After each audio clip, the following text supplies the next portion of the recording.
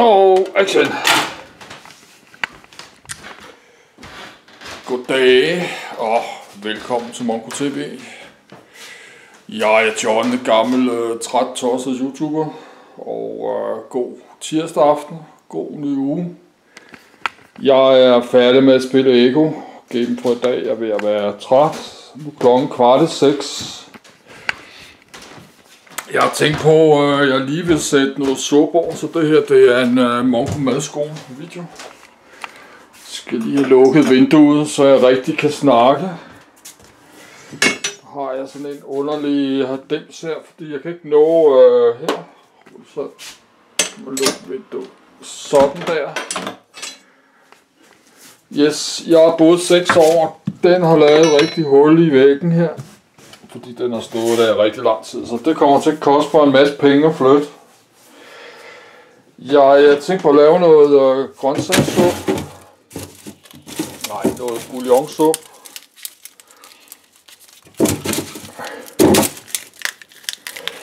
Og øh, men normalt putter jeg jo 0,8 liter øh, vand i. Men de her bouillonterninger, hov, du skal det ikke vælte ned det her, så fryser de altså fast går der helt kage det her. Nej, alt der rammer bagvæggen på den her, det fryser fast, det er så irriterende. Jeg har mistet et par glas brun sovs på det. Yes, lad os få styr på mine uh, bouillon-terninger her. Der røg, jeg ved ikke, hvad det er for en, om det er en okse eller hvad det er. Det finder jeg ud. Skal vi sige, det er en okse? Nej, jeg tænker på, at det sådan en her er jo kun til 0,5 liter, det står der på. Så måske bare prøve, så bliver suppen også stærkere. Yes, det står der også. Yes, 0,5 liter. Nej, det står der ikke. Der er 10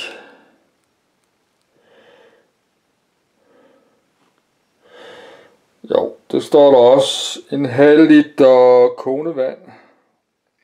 Det er til en halv liter. Jeg kan mærke, at der er sådan helt kold og våd. Det er fordi, den har ligget på bagsiden. Ja, den der. Yes, det er altså ikke nemt at lave mad. Det er det. Altså lige nu gider jeg ikke rigtig eller med en, så jeg er bare i seng nu og så Netflix. Men øh, jeg bliver nødt til at forsøge. Og noget, der minder til et andet normalt liv Øh, ellers så kommer mit liv totalt til at vende på hovedet. Øh, jeg havde en måned, hvor jeg ikke sov om natten, og det gider jeg simpelthen ikke igen. Jeg prøver sådan, jeg tvinger mig til at komme op klokken 9, nogle dage vågner klokken 9, nogle gange klokken 7, og nogle gange 8, og nogle gange 40 vækkeur. Så det har altså fungeret rigtig godt for mig, og simpelthen Øh, jeg tror simpelthen, det har været frossen, den her. Det fungerer rigtig godt for mig, at bare sætte vækkeur til kl. 9, og så simpelthen bare stå op. Uanset øh, om jeg har sovet øh, 7 timer, 5 timer, 4. Nej, jeg tror ikke noget frosset. Yes. Jeg forsøger altså at lave noget suppe. Det er en mongo madsko. Der er hele tiden sådan nogle mærkelige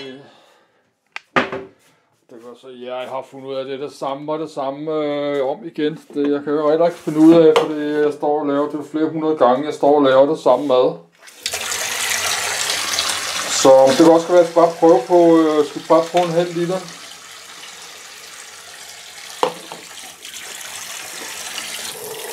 Skal vi bare prøve det? Yes. Der er en halv liter her.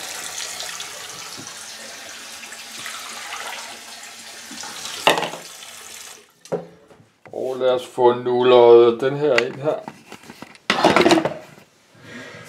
Lad os få det salt til suppen. Og, øh, og en lille skvat, øh, jeg plejer at bruge ekstra jomfruoliven, det har vi ikke. Det gør simpelthen, øh, gør sådan, at øh, vandet får sådan lidt fedtet, olieret. Ja, så det minder lidt om suppe. Så der er der også, i forvejen er der nok, der er sådan noget fedtstof i det her.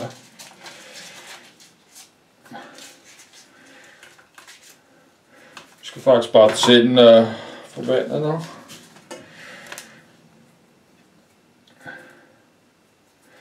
Nej, Der er ikke særlig meget fylde endnu, fordi nu er der det her øh,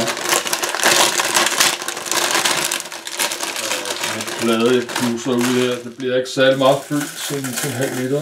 Yes, jeg knuser nudlerne ud, fordi så kan jeg spise det med en ske. Men det smager altså meget bedre med, øh, om man bare spiser hele nudler med en gaffel.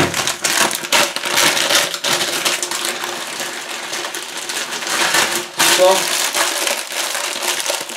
det er også noget, jeg vil købe fremover, de her nudler.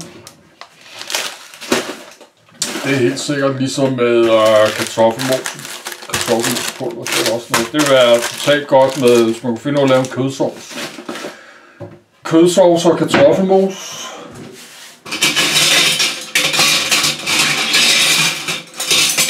Yes, jeg er lige ved at vaske, øh, ja, vaske ske op her. Jeg må lige røre lidt rundt i suppen. Men øh, jeg kom igennem pinsen, men jeg fandt først ud af, at jeg var pins øh, søndag aften, søndag aften. Da jeg lavede min øh, dag 39. Ja, det er min dag 41 øh, YouTube-channels.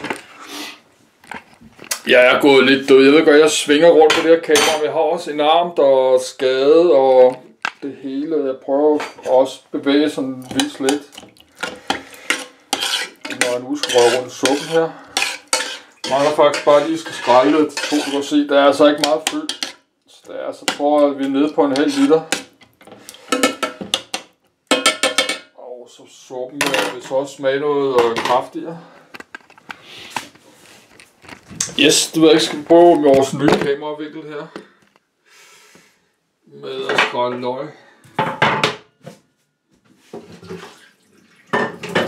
Nej, jeg er gået lidt død min YouTube-channel. Jeg har overholdt den højt. Jeg synes ikke, det er så spændende.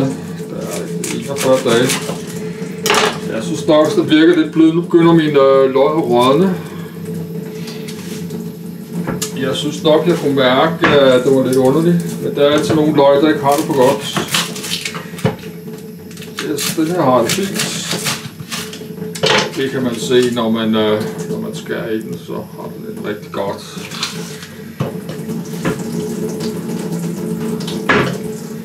Men ja, sådan er altid, der er nogle løg, der ikke klarer det. Og øh, de rødner sådan er det også livet. Der er nogle mennesker, der ikke klarer den. Det er ikke alle mennesker, der får et godt liv, og får en måske god uddannelse, køber hus, og får familie og børn. Der er også mange mennesker, der ikke klarer det, som så får de liv, øh, som de nu har håbet på. Så måske aldrig fik børn, fik ikke det der gode job, fik måske ikke deres uddannelse, fik måske på vid som ung, og fik ikke overskud til det. Jeg har haft en rigtig dum mand, der drikker rigtig meget, og så stoffer. Bruger alle deres penge åndssvager. Yes. Nu skal jeg lige finde et løg mere.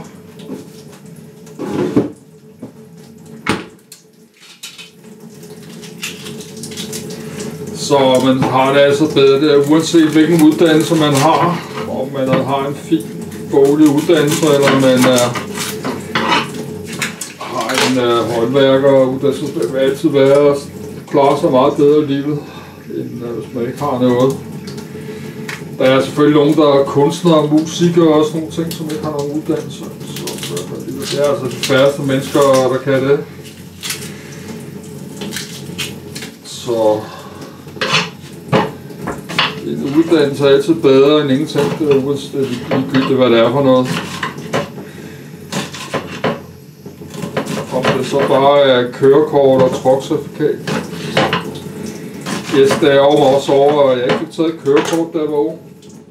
Det kan man jo simpelthen få et job på, bare at have kørekort. Så kan man køre rundt med øh, varelevering og alt muligt mærkeligt. Yes, det var lidt hurtigt, jeg fik løftet kameraet. Jeg vil lige putte det sidste løg her.